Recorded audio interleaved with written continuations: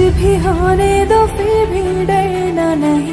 करे या न करे दुनिया कोई परवाह। हरदम तेरे संग रहेगी